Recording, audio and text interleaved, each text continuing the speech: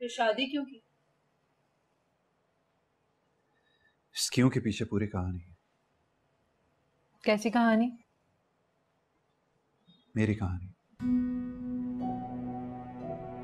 बहुत छोटा सा था लेकिन तब भी शायद मेरा दिमाग बड़ों की तरह सोचा करता था। ऋषा बचपन में मुझे सिर्फ़ एक ही बात चुपती थी कि डैड का मॉम के सामने हाथ जोड़ के खड़ा हुआ। क्यों? ये सवाल जैसे एक साई की तरह मेरे साथ बड़ा हो। पता ये चला। कि सारा कारोबार पैसा मॉम का है और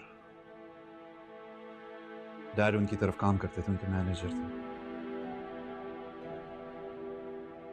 मॉम को शादी एक ऐसे इंसान के साथ करनी थी जो ना उनके सामने आँखें उठा सके। ना ही जबान खोल सके। और डैड को शादी इसलिए करनी थी कि उन्हें अपनी ख्वाहिशात को पूरा करने के लिए एक शॉर्टकट मिल जाए, और वो शॉर्टकट मेरी मॉम की सूरत में उन्हें मिल गया। दोनों के अपने अपने कॉजेस थे अपनी अपनी मंजिलें थी। और मैं मैं तो जैसे उनकी ज़िंदगी में कहीं था ही नहीं। मॉम सिर्फ़ नाम की माँ थी, जिन्होंने सिर्फ़ मुझे पैदा किया। मेरी परवरिश, मेरी तरबियत। ग्रैनी ने की। तुम्हें क्या बताऊँ, ग्रैनी बहुत ही नाइस और कंपोज काम लेडी थी। एक छोटे से घर में वो अपने हस्बैंड को ऐसा प्रोटोकॉल देती जैसे कोई बादशाह। और मैं इतना उलझ था कि मेरी मॉम इतनी तवज्जो, इतना प्यार मेरे मेरे डैड को क्यों नहीं देती?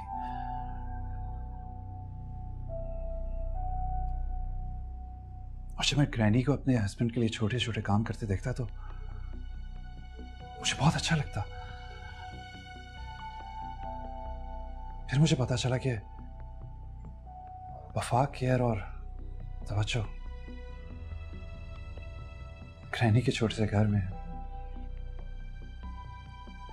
जूजू में बड़ा होता गया। ये बात मेरे माइंड में और पक्की होती गई कि मुझे शादी करनी है तो किसी मिडिल क्लास लड़की से करनी है।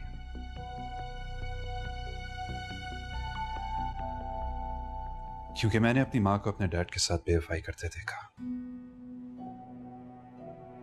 कई बार। डैड चुप थे क्योंकि उनकी ज़ुबान पे मॉम के पैसे के ताले लगे हुए थे। लेकिन अंदर ही अंदर वो खुल रहे थे। और एक दिन वो दुनिया से चले गए। ये अंजाम होना था उनका। क्योंकि बेवफाई एक स्लो पॉइजन की तरह आपको अंदर ही अंदर खाई जाती है।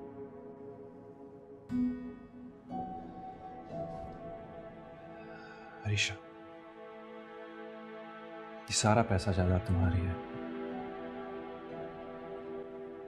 बस अपनी वफा मेरे नाम कर दो।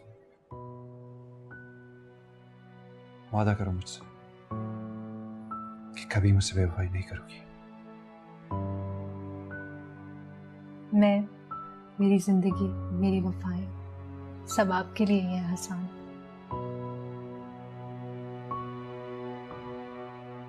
मेरी ज़िंदगी मेरी वफाएँ आज से सब तुम्हारी है। ये एक मर्द का वादा है जो कभी टूटेगा नहीं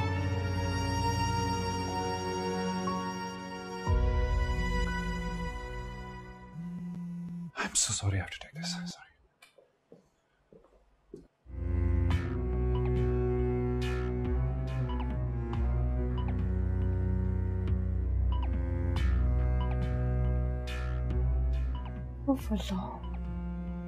कैसा आदमी भी नसीब में लिखा हुआ था इतना बोरिंग